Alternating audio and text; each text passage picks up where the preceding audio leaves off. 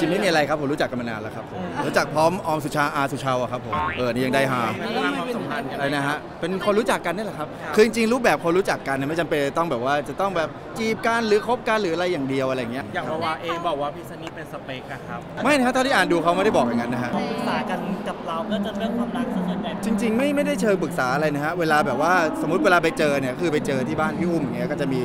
มีมิวมีออมมีวาวาอย่างเงี้ยก็จะเจอกันแล้วก็จะพูดเล่นมุกกันมากกว่าผมก็ไม่รู้เป็นคำปรึกษาหรือเปล่า ไปได้มันมีไหมพี่ให้ผมอยู่อย่างนี้ยดีกว่าสงสารเขาผมไปเป็นข่าวเขาเนี่ยเขาลำบากเขาอีกมีความรู้สึกดีๆเกิดขึ้นกับใครเลยเหรอใช่ครับผมผมผมไร้หัวใจครับผมผมไร้หัวใจครับตอนนี้มันปิดกั้นไปแล้วหรือยังไงพี่ไม่ปิดกั้นครับผม จริงหลายคนก็อยากลุ้ ทำไมต้องมาลุ้นผมล่ะฮะเออเพราะไม่เห็ต้อนงลุ้นหรอกโสดมานานแล้ว